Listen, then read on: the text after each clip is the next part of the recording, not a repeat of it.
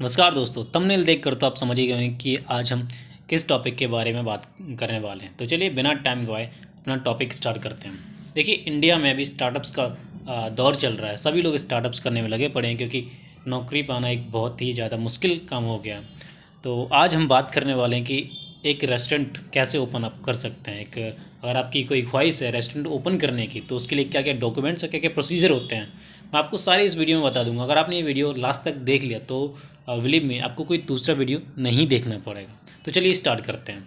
तो सबसे पहले हमारा पॉइंट आता है कि आपको डिसाइड करना पड़ेगा कॉन्सेप्ट अपने रेस्टोरेंट का। Decide the concept of your restaurant आपको डिसाइड करना पड़ेगा कि आपको किस तरह का रेस्टोरेंट खोलना है। मतलब कि आपको वेज खोलना है कि नॉन वेज खोलना है कि वेज नॉन वेज दोनों होना चाहिए फिर उसमें बार भी होना चाहिए। मतलब कि अगर आपको तीनों कैटेगरीज चाहिए तीनों कैटेगरीज का भी रेस्टोरेंट होता है, जो कॉस्ट है ना, वो रेस्टोरेंट का वो तीन कैटेगरीज के अकॉर्डिंग ही डिसाइड होगा veg non veg and cum bar तो सबसे पहले आपको क्या डिसाइड करना है कि आपका रेस्टोरेंट का कॉन्सेप्ट कैसा होना चाहिए वेज या नॉन वेज या फिर उसमें बार भी इंक्लूड होना चाहिए।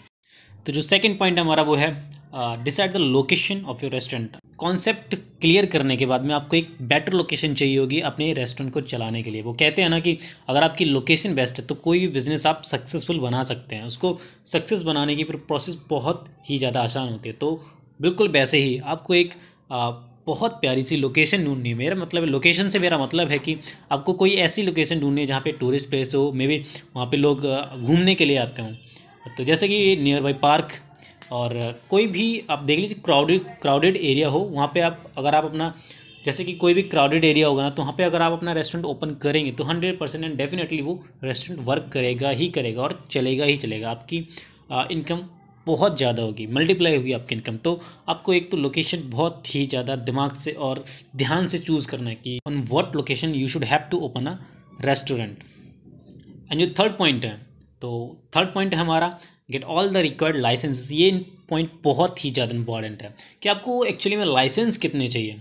बहुत सारे लाइसेंस लगते हैं रेस्टोरेंट को ओपन करने के लिए, इसीलिए बहुत सारे लोग ओपन करते भी नहीं हैं। तो ये लाइसेंस वाला कॉन्सेप्ट बहुत ही ज़्यादा इंपॉर्टेंट है। इसको हम थोड़ा सा लेट कवर करेंगे। थर्ड पॉइंट हमारा लाइसेंस वाला। इसका पहले मैं ये सारा बता देता हूँ प्रोसीजर कि आपको और क्या क्या चाहिए होगा। उसके बाद हम लाइसेंस के बारे में डिस्कस करेंगे। तो जो फोर्थ पॉइंट हमारा, वो है गेट द वर्क फोर्स मतलब कि आपको वर्कर्स चाहिए होंगे अपने रेस्टोरेंट में काम करने के लिए। वो आपको डिसाइड करना पड़ेगा कि कितने वर्कर आपको चाहिए होंगे अपने रेस्टोरेंट के कॉन्सेप्ट के अकॉर्डिंग और लोकेशन के अकॉर्डिंग अगर लोकेशन ज़्यादा क्राउडेड वाली है तो आपको ज़्यादा वर्कर चाहिए होंगे। तो उसके अकॉर्डिंग आपको वर्क फोर्स डिसाइड करनी पड़ेगी। और आपको उसके बाद जो फिफ्थ पॉइंट है हमारा, वो है डिज़ाइन अ स्टेलर मेन्यू इसका मतलब होता है कि आपको अपने रेस्टोरेंट का मेन्यू डिसाइड करना पड़ेगा पहले से कि आप कौन कौन से डिशेस ऑफ़र करने वाले हैं क्या क्या लिक्विड ड्रिंक्स ऑफ़र करने वाले हैं, ये सब कुछ आपको उस पर मैंसन करना ही पड़ेगा। वो बहुत ज़रूरी होता है मेन्यू क्योंकि मेन्यू आपके डॉक्यूमेंट्स में भी लगेगा तो आपको मेन्यू भी बहुत ध्यान से बनाना है बैठ के। एंड जो सिक्स पॉइंट हमारा arrange vendors and suppliers for your restaurant लेकिन आपको वेंडर्स को अरेंज करना है एंड सप्लायर्स को भी अरेंज करना है। मतलब कि आपने रेस्टोरेंट ओपन कर लिया। मान लीजिए आपका रेस्टोरेंट ओपन हो गया उसके बाद आपको आ, उसको चलाने के लिए वेंडर भी तो चाहिए होगा ना? और उसको चलाने के लिए एंड सक्सेसफुल बिज़नेस बनाने के लिए सप्लायर भी तो चाहिए होंगे ना? जैसे कि जोमेटो स्विगी ऑनलाइन आप कर सकते हैं। अपनी खुद की वेबसाइट पे आप उस फ़ूड को डिलीवर कर सकते हैं।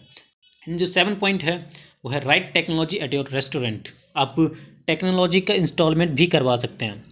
जैसे कि राइट टेक्नोलॉजी से मेरा मतलब है, आप कोई एलईडी स्क्रीन लगवा सकते हैं अपनी शॉप पे, कोई रेस्टोरेंट पे अपनी एलईडी स्क्रीन लगवा सकते हैं जहाँ पे आपका मेन्यू डिस्प्ले हो और और जो आपकी किचन है, वो कितनी हाइजेनिक है मतलब कि कितनी साफ़ सुथरी है किचन वो डिस्प्ले हो उस पर लोगों के ऊपर आपके रेस्टोरेंट के लिए एक पॉजिटिव पॉइंट बैठेगा। मतलब कि वो ये देखेंगे ना कि आपके सामने खाना बन रहा है और किचन कितनी ज़्यादा हाइजेनिक है।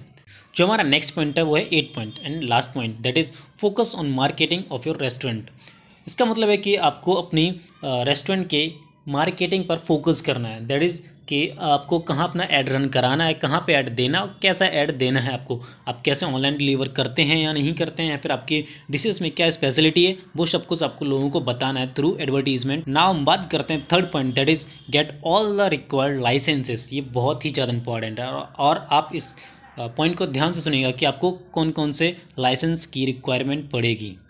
देखिए, सबसे पहले आपको ज़रूरत पड़ेगी फसाई के लाइसेंस की F double S A I license की, जो कि आपको पड़ेगा two thousand rupees per year का।